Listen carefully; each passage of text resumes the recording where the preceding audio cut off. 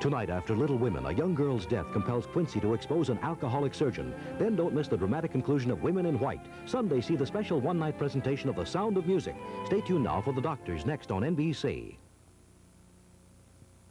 Afternoons, a time to share love, Sunshine, I don't want you as my roommate. I want you as my wife. feelings, Can you possibly understand what rape means to a woman? secrets. If Mac doesn't trust me, our marriage is meaningless. Afternoons at a new time starting March 5th on NBC. Friday, Zipper's dad pays a visit I'm here to talk about your grades. on Brothers and Sisters. Then, how would you feel if you had a chance to win a million? Just this one time.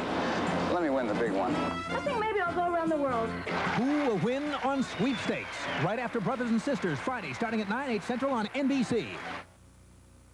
Sex. It's big business and it's riddled with crime. Dollars and Sex, a special series continuing tonight at 6 on the Scarborough Cafferty Report.